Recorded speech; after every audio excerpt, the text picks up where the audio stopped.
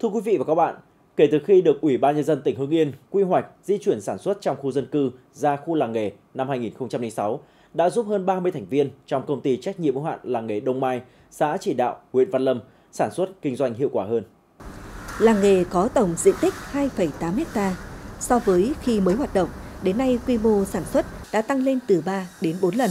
Trong khi đa số doanh nghiệp nội địa phải cắt giảm quy mô do khó khăn, thì các thành viên trong công ty trách nhiệm hữu hạn làng nghề Đông Mai vẫn giữ ổn định được sản xuất cho mình và tạo việc làm cho gần 500 lao động.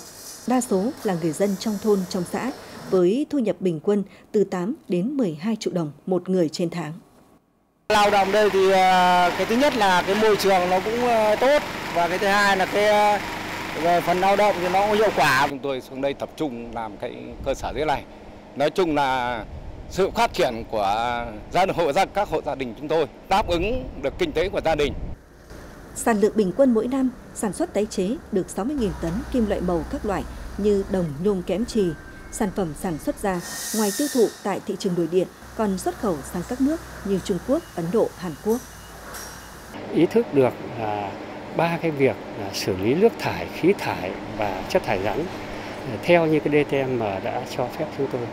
Thì sau khi một thời gian ờ, các đoàn thanh tra kiểm tra thì đấy cũng công nhận là chúng tôi ờ, làm đạt được hiệu quả rất tốt. Giữ vững nhịp độ sản xuất trong khoảng thời gian khó khăn vừa qua là một thành công lớn của doanh nghiệp. Tuy nhiên, không vì thế mà chủ quan bởi trước đòi hỏi ngày càng cao từ thị trường, doanh nghiệp phải tiếp tục đẩy mạnh đầu tư máy móc công nghệ mới để nâng cao năng suất, nâng cao chất lượng sản phẩm, tăng sức cạnh tranh trên thị trường. Định hướng chung ấy là phải xuất được khẩu ra nước ngoài thì để tăng cái nguồn thu nhập cho các cái ờ, cổ đông và làng nghề của chúng tôi.